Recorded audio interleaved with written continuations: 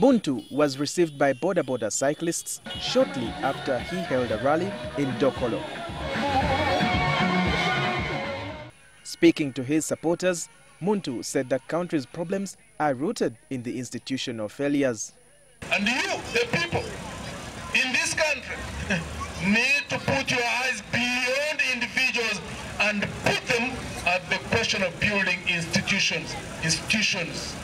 He made the remarks while meeting FDC delegates from the eight districts of Langosa sub-region in Dokolo town, where he addressed a rally later in the afternoon. We have deeply hurt each other. The levels of pain within our communities in this country are deep. Why? Just because we failed to manage democracy at the level of leadership. He argued that FDC is the only stable party in the country because it is focusing on building institutions. As I speak now here in Dokolo, Dr. Wezi is in uh, Kalari, that we are able to compete for power in a party means a lot, not just for FDC, but for Uganda as a country, and you need to think about that.